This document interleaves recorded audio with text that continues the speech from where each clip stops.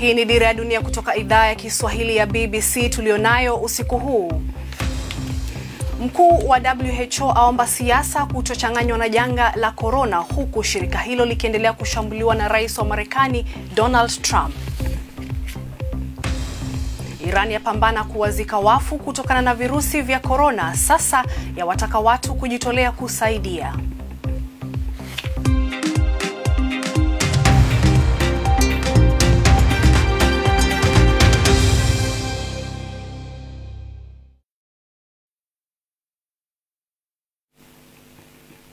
Hujambo na karibu katika Dira ya Dunia kutoka idhaa ya Kiswahili ya BBC ikikuletea dakika 30 za habari, maelezo, uchambuzi na maoni. Mimi ni Esther Kahumbi nikiwa hapa London. Huku mataifa mengi duniani yakipambana kudhibiti kusambaa kwa janga la virusi vya korona, virusi hivyo vinaendelea kuenea na idadi ya maambukizi sasa imepita milioni moja nukta tano. Karibu watu elfu tisini sasa wamefariki dunia kutokana na ugonjwa wa COVID-19. Marekani imeshuhudia idadi kubwa zaidi ya vifo ndani ya saa 24 kutokana na virusi hivi. Karibu watu elfu mbili walikufa jana. Haya yanajiri huku New York ikiwa na maambukizi mengi zaidi kuliko taifa lolote lingine duniani. Watu laki moja elfu hamsini na moja wana maambukizi ya virusi vya korona jijini humo. Lakini kuna habari njema kutoka Korea Kusini. Wameripoti idadi ndogo zaidi ya maambukizi mapya katika muda wa majuma saba yaliyopita. Ni watu 39 tu walioripotiwa kuwa na maambukizi na zaidi ya nusu wamewasili kutoka mataifa mengine. Nchi hiyo imejitahidi kufanya vipimo na kuwatafuta watu ambao huenda wameambukizwa. Marekani nayo imepata pigo kubwa sana kwa idadi ya watu waliofariki dunia kwa siku kutokana na virusi vya korona, vya korona samahani. Takriban watu elfu mbili wamekufa siku ya Jumatano, lakini licha ya hayo, Rais Trump amesema anaamini nchi hiyo itaanza shughuli zake mapema kuliko ilivyotarajiwa. Pia ametoa tathmini nyingine ya kudhalilisha dhidi ya shirika la afya duniani na namna ilivyoshughulikia janga hili, akishtumu kuipigia kifua China. Zuhra Yunus anaarifu. New York inabaki kuwa kitovu cha ugonjwa huu wa kuambukiza unaotokana na virusi vya korona. Idadi ya waliofariki dunia siku ya Jumatano ni kubwa kuwahi kutokea kwa siku, watu mia nane. Lakini pamoja na mtikisiko huo, dalili njema zinajitokeza. Kiwango cha maambukizi mapya hatimaye kinaanza kushuka, ikisababisha rais kudai kuwa Marekani karibu itarejea hali yake ya kawaida. Itakuwa vizuri tukiweza kurejea kwa kishindo kikubwa na kufungua fursa nchini mwetu, au bila shaka sehemu kubwa ya nchi, na nadhani tutafanya hivyo muda si mrefu. Bwana Trump kwa sasa anarushia lawama msukosuko huu kwa shirika la afya duniani na mapema wiki hii rais huyo aliandika katika ukurasa wake wa Twitter kuwa WHO wamevuruga kwa sababu maalum, wakifadhiliwa kwa kiasi kikubwa na Marekani, lakini wakilalia zaidi upande wa China. Watafuatilia kwa makini. Anatishia kushikilia mamilioni ya dola ya ufadhili wa Marekani. Mkuu wa WHO amejibu ukosoaji wa bwana Trump na kumsihi asilete siasa kwenye janga hili la kuenea kwa virusi vya korona. No politicizing. No need to. Usilete siasa. Haina haja ya kutumia COVID kupata umaarufu wa kisiasa. Haina haja. Ikulu ya White House sasa inakabiliwa na mashtaka kuwa maafisa walionywa kuhusu kuenea kwa virusi vya korona tangu Novemba mwaka jana lakini walipuuza taarifa walizopewa na maafisa wa kijasusi kuwa inaweza kuleta athari kubwa sana na ya hatari. Rais aliwaambia waandishi wa habari kuwa alipata hizo taarifa kwa mara ya kwanza mwezi Januari. Kwa kweli nilijua kuhusu ukubwa wa tatizo muda fulani kabla tu hatujafunga mipaka yetu na China na tulipozuia safari za ndege kuingia nchini kutoka China na mambo mengine. Ndio kama mnavyojua, tulifunga pia na Ulaya. Rais amezungumza akiwa na hisia za ushindi baada ya kupata taarifa hizi, kiasi ambacho idadi ya wagonjwa wanaolazwa New York hatimaye inaanza kupungua. Maafisa wa afya wanasema kupunguza tahadhari mapema mno kunaweza kukasababisha wimbi la pili la virusi vya korona ambavyo vitakuwa na athari kubwa zaidi kuliko ya kwanza. Zuhra Yunus, BBC. Eneo la kusini mwa jangwa la Sahara barani Afrika mwaka huu litakabiliwa na mdororo mkubwa zaidi wa kiuchumi kwa mara ya kwanza katika miaka ishirini na mitano iliyopita kutokana na mlipuko wa virusi vya korona. Afrika Kusini ambayo ndio ina uchumi mkubwa zaidi katika bara la Afrika imejikuta katika hali mbaya zaidi na sasa hivi inakaribia kuingia katika wiki ya tatu ya hatua za watu kuzuiliwa kutotoka majumbani mwao pasipo na jambo muhimu la kumlazimu mtu kufanya hivyo. Kando na Afrika Kusini, mataifa mengine ya Afrika yanatumia mbinu hizo hizo kudhibiti kuenea kwa virusi vya korona, jambo ambalo linaathiri uchumi. Lakini athari za virusi hivi kwa washirika wa biashara na mataifa ya Afrika na kushuka kwa bei za bidhaa ndio sababu kuu. Tuangalie Benki ya Dunia imesema nini kingine? Imesema eneo la kusini mwa jangwa la Sahara barani Afrika litahitaji kupigwa jeki ya kiuchumi ya, kujari, ya karibu dola bilioni moja kukwamua uchumi wake. Uchumi wa mataifa mbalimbali utapata hasara ya kati ya dola bilioni 37 na 79 mwaka huu kutokana na virusi vya korona. Eneo hilo pia huenda likakabiliwa na upungufu mkubwa wa chakula ikiwa uzalishaji unatarajiwa kupanuka kati ya asilimia 2.6 na asilimia saba na kiasi cha chakula kinachoagizwa kutoka nje huenda kikapungua hadi asilimia 25. Mwanauchumi mkuu anayeshughulikia Afrika katika Benki ya Dunia amesema Afrika peke yake haina uwezo wa kuudhibiti ugonjwa huu na athari zake.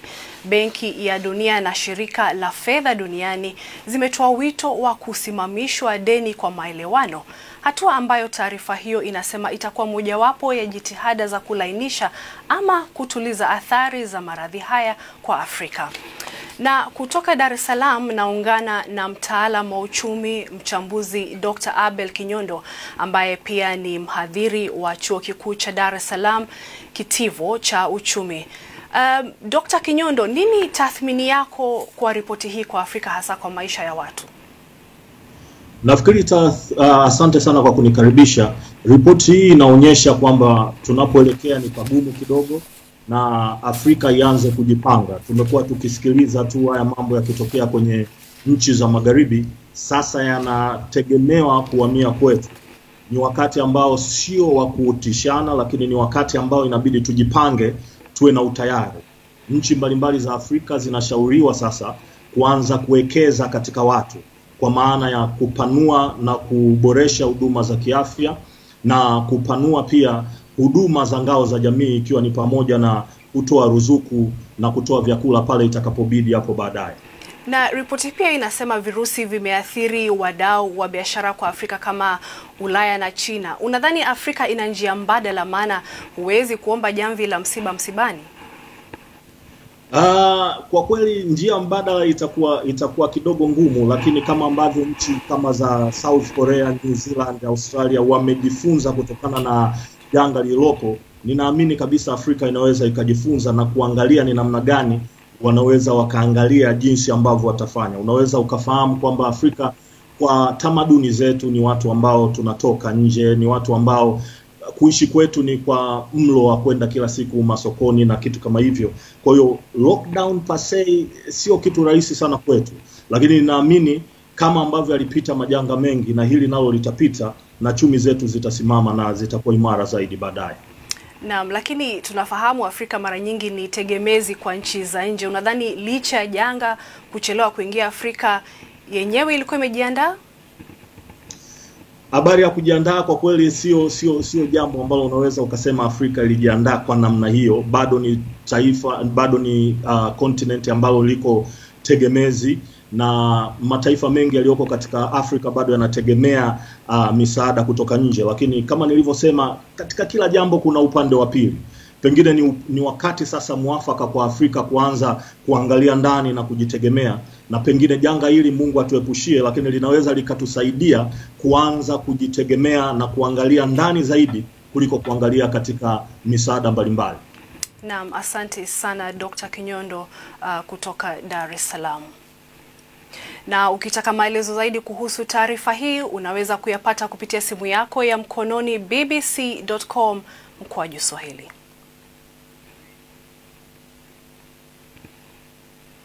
Taifa la Iran lina idadi kubwa ya vifo vilivyotokana na ugonjwa wa COVID-19 katika eneo la Mashariki ya Kati. Wanaofanya kazi ya kujitolea wanasaidia kuondoa maiti, wengine wakisubiri kwa siku tano au hata sita. Wanahakikisha vipi usalama wao? Na je, idadi hii ni sawa na ile iliyotolewa rasmi?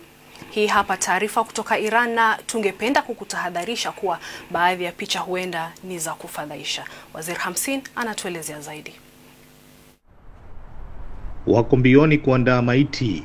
Wanaume hao wanajifunza kuwa viongozi wa dini wa madhehebu ya Shia wamejitolea kufanya kazi ambayo wataalamu wanahofia, kuosha miili ya waliofariki kutokana na ugonjwa wa korona ili waweze kustiriwa kwa taratibu za Kiislamu.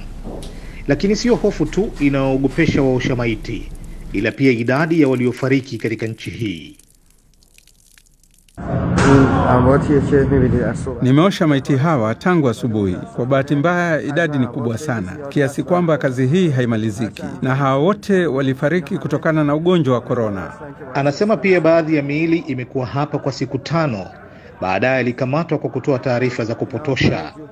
Lakini tazama mji huu wa Mashhad, hali ni ile ile, na watu hao waliojitolea kuosha maiti hapa katika eneo hili la Qom. Tangu kuanza kwa janga hili kumekuwa na maswali mengi kuhusu idadi ya walioambukizwa, huku wengine wakidhani kuwa serikali inatoa taarifa zisizo na ukweli kuhusu idadi hiyo. Takwimu rasmi zinaonyesha watu zaidi ya elfu sitini wameambukizwa huku takriban elfu nne wakifariki dunia. Kundi moja la watafiti wenye asili ya Iran nchini Marekani wanaamini idadi huenda ikawa kubwa zaidi. Kwa kutumia mfumo wa magonjwa ya kuambukiza wamekadiria idadi ya walioambukizwa kufikia Machi tarehe ishirini ilikuwa takriban milioni moja huku zaidi ya watu elfu kumi na tano wakifariki dunia. Huu ni utafiti mmoja tu na huenda tusijue kuhusu hali halisi ilivyo ya janga hili nchini Iran. Ishara ni kuwa ukweli kamili haujafichuliwa, na badala ya kila mwili kuzikwa kwenye kaburi lake, miili inawekwa pamoja katika mashimo marefu, jambo ambalo si aghalabu katika eneo hili. Wazir Hamsin, BBC. Hii ni Dira ya Dunia kutoka idhaa ya Kiswahili ya BBC London, na mimi ni Esther. Karibu tena. Na sasa tuangalie zaidi hali ilivyo Afrika ambapo mataifa zaidi yametangaza hali ya hatari kutokana na ugonjwa wa COVID-19. Liberia ikiwa nchi ya hivi karibuni kufanya hivyo. Um, tuelekee Dar es Salaam tuungane na mwandishi wetu Sami Awami ambaye atatupa taarifa zaidi kuhusu namna bara hili linakabiliana na virusi hivyo. Na tuanzie nyumbani. Sami, hali ikoje Tanzania? Uh, hapa Tanzania naona sauti zimeendelea kuongezeka zaidi kwa kuitaka serikali aidha itoe idadi ya watu ambao imewapima hadi hivi sasa au uh, ifikirie juu la swala la kupima watu wengi kwa mara moja, kwa sababu tumeona katika nchi zingine kama vile Kenya na Uganda, mahali ambapo walipoanza kupima watu wengi zaidi, au hata Afrika ya Kusini kwa mfano, wakagundua kwamba kuna watu wengi zaidi ambao walikuwa na maambukizi ambao walikuwa hawaonyeshi dalili zozote zile. Kwa hivyo tumeanza kuona kwamba watu wengi wakiitaka serikali aidha kutoa namba za watu ambao imewapima hadi sasa au kufikiria swala la kupima watu wengi zaidi. Lakini tukihamia nchini China, tunapata taarifa kwamba kuna Waafrika wengi sana, mamia tunaambiwa, ambao wamefukuzwa kutoka katika hoteli lakini na nyumba ambazo walikuwa wamekaa, na wengine wameanza kupigiwa hodi majumbani kwao kwa ajili ya kupimwa na hii haitokani na jitihada za kujikinga tu, lakini naambiwa kwamba pameonekana kama vile kuna kuna masuala ya ubaguzi wa rangi, na sasa wenyeji wa pale wanawabagua Waafrika na kuona kama vile wao ndio wanaendelea kusambaza vitu kama hivi, kitu ambacho kimeibua serikali zingine, kwa mfano kama Nigeria, kufikiria kusema kwamba watatuma usafiri au wataandaa namna ambayo wanaweza kuwaleta nyumbani wanafunzi wote wa, wa Nigeria ambao wako huko nchini China. Kwa hivyo ni kitu ambacho kimeibua kwa kweli makemeo kutoka maeneo mengi barani Afrika kwamba kwa nini Waafrika waendelee kunyanyapaliwa kiasi hiko uh, nchini China. Lakini tukiamia nchini Botswana kwa mfano, tunaambiwa kwamba nchi hiyo imeamua kuwaweka katika karantini uh, wabunge wake wote hamsini na saba kwa sababu uh, muuguzi ambaye anahudumu pale katika bunge la nchi hiyo amepatikana kuwa na virusi hivi vya korona. Kwa hivyo uh, wameamua sasa kwa ajili ya, ya kudhibiti tu kuto kuendelea na kwa tahadhari pia ni kwamba wabunge wote wawekwe katika karantini huku afya zao zikiendelewa kuangaliwa kwa ukaribu zaidi. Lakini tukihamia kusini mwa Afrika, nchi ya Malawi, tunaambiwa kwamba makamu wa rais nchini humo Bwana Salus Chilima amemtaka rais wa nchini humo ambaye yupo uh, mjini ya kurudi Lilongwe ambayo ndio makao makuu ya nchi hiyo kwa ajili ya kuendeleza mapambano. Makamu wa rais wa nchi hiyo Bwana Chilima anasema kwamba uh, kwa kufanya hivyo wataokoa fedha fedha ambazo zinaweza kuelekezwa katika mapambano ya, ya ugonjwa huu. Asante sana Sami kwa maelezo hayo.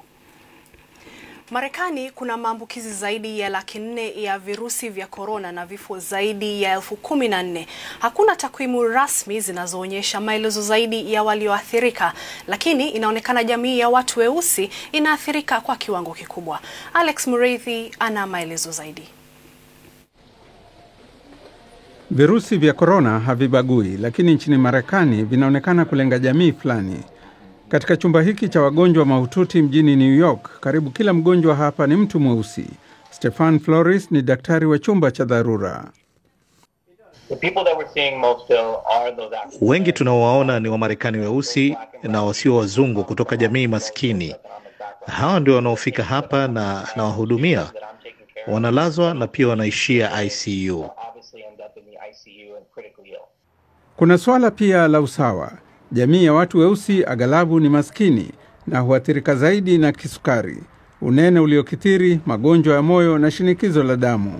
Meya wa New York anasema hii ni aibu. It made me angry to see that the Imenikasirisha sana kuona hali ambavyo imelikumba jiji letu na taifa letu, kuona ukosefu mkubwa wa usawa ambao kwa mara nyingine tena unasababisha maumivu na vifo kwa watu wasio na hatia. Takwimu zinaogopesha.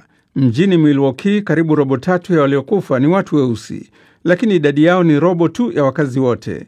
Katika mji wa Illinois, asilimia 42 ya waliopoteza maisha ni Wamarekani weusi, ingawa idadi yao ni asilimia 14 tu, na ni vivyo hivyo mjini Louisiana ambapo vifo ni asilimia 70, ingawa idadi yao mjini humo ni ndogo. Mganga mkuu wa Marekani amezungumzia hali yake mwenyewe. Nimesema mimi binafsi nina shinikizo la damu na ugonjwa wa moyo. Nimekaa ICU wiki nzima kutokana na tatizo la moyo. Nina athma na kisukari pia. Kwa hiyo nawakilisha taswira ya Wamarekani weusi masikini ambao tuko hatarini na COVID-19. Hivyo kila mtu achukue jukumu lake. Hakuna jambo geni katika kutambua tofauti za kiafya kati ya Wamarekani weusi na wazungu, lakini COVID-19 inaonyesha uzito wa jambo hili. Wamarekani wote wanaishi kwa wasiwasi kwa sasa, lakini Wamarekani weusi ndio wana mashaka zaidi. Alex Mureithi, BBC. Hii ni Dira ya Dunia kutoka idhaa ya Kiswahili ya BBC London. Mimi ni Esther Kahumbi.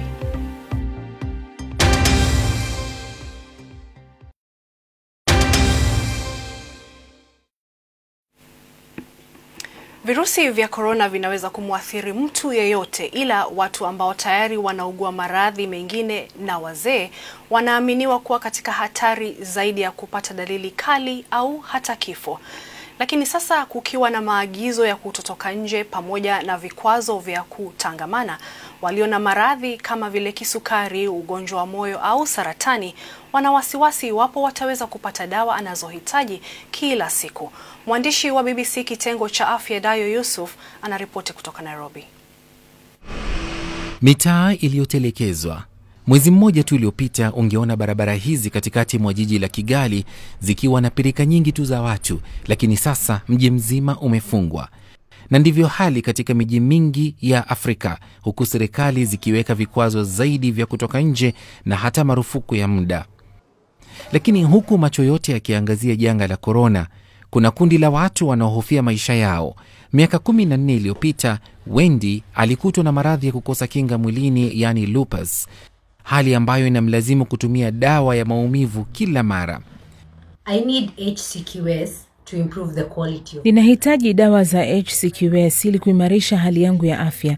Hii ndiyo dawa muhimu zaidi katika kutibu na kudhibiti maradhi ya lupus na arthritis. Utendakazi wangu pia unategemea dawa hizo. Nisipopata, basi maumivu yanazidi mwilini na mwili unavimba na kupata uchovu. inflammation and severe fatigue. Na huku vikwazo vikizidi vya kutoka nje, Wendi anahofia hali yake itakuwa vipi akija kuishiwa na dawa zake.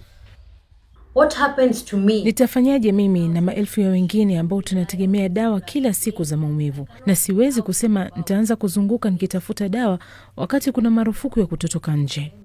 Maradhi ya Windi ni mojawapo tu ya mengine mengi ya muda mrefu yanayohitaji kudhibitiwa na kupata dawa kila siku. Kwa mujibu wa shirika la afya duniani, kisukari ndio ugonjwa unaoathiri wengi zaidi, ambao asilimia 98 ya wagonjwa wanaotumia aina mbalimbali mbali ya dawa za maagizo kwa sehemu kubwa ya maisha yao. Watu wazima walio na kisukari ndio wanatumia dawa nyingi zaidi kuliko walio na umri mdogo. Ugonjwa mwingine unaowalazimu watu kutumia dawa kwa muda mrefu ni saratani, japo inatofautiana kulingana na umri wa mgonjwa au hata wakati ugonjwa ulipogunduliwa. Maradhi ya moyo pia yametajwa kama yanayolazimu watu kutumia dawa kwa wingi, pamoja na msukumo wa damu na maradhi ya baridi. Kwa mujibu wa serikali, huduma muhimu za kimatibabu zitaendelea kutolewa licha ya vikwazo vya kutoka nje, na hii inamaanisha maduka ya kuuza dawa yatakuwa katika mstari wa mbele. Wakati janga hili la korona lilipoanza, tuliangalia kuona kuwa itafika mahali ambapo wagonjwa wetu watahitaji madawa haya, na tumefanya kila mpango kuhakikisha kuwa tuko na madawa ya kutosha ya kutupeleka kwa muda. Jangwa kama litaendelea kwa muda mrefu zaidi, hapo pengine ndo tutakuwa na shida, lakini kwa sasa tumewafikirie na tuko na dawa ya kutosha. Hii inatofautiana katika maduka yanayouza dawa, lakini jukumu la kuhakikisha dawa zinasambazwa kutosha nchini Kenya liko mikononi mwa shirikisho la uuzaji madawa. Tunaelewa hofu zao iwapo tunazo dawa za kutosha kutibu maradhi sugu, na ningependa kueleza kuwa waondoe wasiwasi, kwani safari za ndege za kubebea mizigo bado zinaendelea nchini Kenya, na kwa sasa tunazo dawa za kutosha hadi miezi mitatu ijayo. Na hata usipopata dawa unayotumia siku zote, kuna kampuni tofauti zinazotengeneza dawa kama hizo, mradi ziwe zimeidhinishwa nchini. Kwa sasa wanachoweza tu kufanya wagonjwa ni kujiwekea akiba ya kutosha ya dawa zao na kuwa na imani kuwa maduka yao ya dawa na hospitali zitaendelea kuwajazia makopo yao yatakapoishiwa dawa. Dayo Yusuf, BBC, Nairobi. Na hatimaye, kabla hatujaondoka, tuangalie picha za rais wa Uganda Yoweri Museveni. Aliahidi kutuonyesha mazoezi ya nyumbani, na huyu hapa akifanya mazoezi ofisini mwake, kuwahimiza wananchi kufanya mazoezi nyumbani wakati huu wa janga la COVID-19.